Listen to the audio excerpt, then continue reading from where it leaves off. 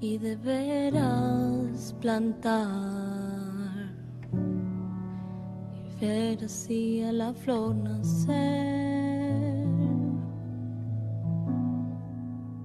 Y deberás crear.